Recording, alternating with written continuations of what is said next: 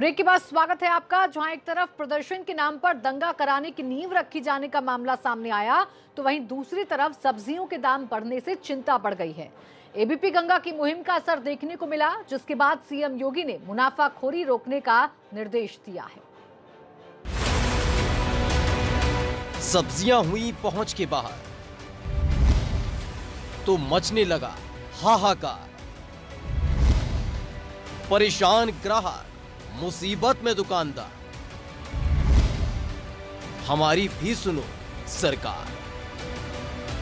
कहा जाता है, सब्ज़ी सेहत के लिए लाभकारी है और स्वास्थ्य के लिए बेहतर। लेकिन वही सब्ज़ी अगर चिंता देने लगे तो?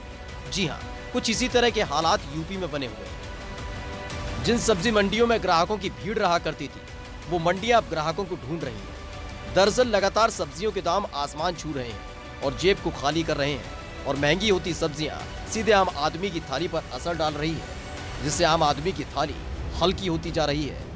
पिछले कुछ दिनों में मानो सब्जियों के दाम शेयर मार्केट की रेटिंग की तरह हो गए हैं, लेकिन फ़र्क बस इतना है कि शेयर मार्केट में दाम ऊपर नीचे होते रहते हैं, लेकिन सब्ज़ी मंडियों में सजी सब्जियों के दाम लगातार ऊपर बढ़ते जा रहे हैं। ऐसे में ग्राहकों से लेकर दुकानदार तक हैरान और परेशान है। आपको मंडियों का हाल और ग्राहकों और दुकानदारों का दर्द इस सवाल सुना है उससे पहले आपको सब्जियों के दाम बता देते आलू का दाम इन दिनों चालीस रुपए प्रति किलो हो गया है, जो अब पहले बीस रुपए प्रति किलो के हिसाब से मिलता था। प्याज का दाम चालीस रुपए प्रति किलो हो गया है, जो पहले पच्चीस रुपए प्रति किलो के हिसाब से मिलती थी।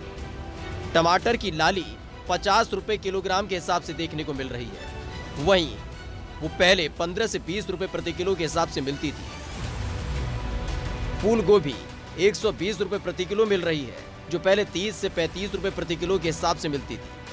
परवल 80 रुपए प्रति किलो तक पहुँच गए हैं। वहीं 50 रुपए प्रति किलो के हिसाब से पहले मिलते थे। कद्दू का दाम 30 रुपए प्रति किलो तक पहुँच गया है, जो पहले 15 रुपए प्रति किलो के हिसाब से सब्ज़ी मंडियों में मिलता था। धनिया तीन सौ रुपए प्रति किलो पहुँच चुका है, जो पहले सौ रुपए प्रति किलो के हिसाब से मिलता था। बैगन के दाम की बात की जाए तो चालीस रुपए प्रति किलो के हिसाब से सब्ज़ी मंडियों में मिल रहा है, जो पहले बीस रुपए प्रति किलो के हिसाब से मिलता था। तो ये है वो दाम जो आसमान तक जा पहुँचे हैं। अब आपको दिखाते हैं सब्ज़ी मंडियों का हाल और सुनाते हैं ग्राहकों का दर्द सवाल जो सरकार से।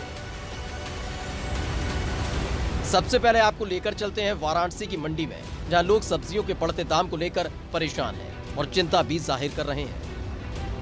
महँगाई क्या है समय क्या अभी क्या है कि मौसम, बरसात की वजह से सब, सब्ज़ियाँ निकलना कम हुई थी।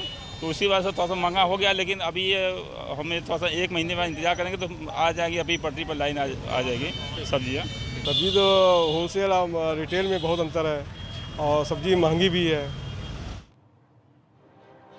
और इसी के साथ मुद्दे की बात में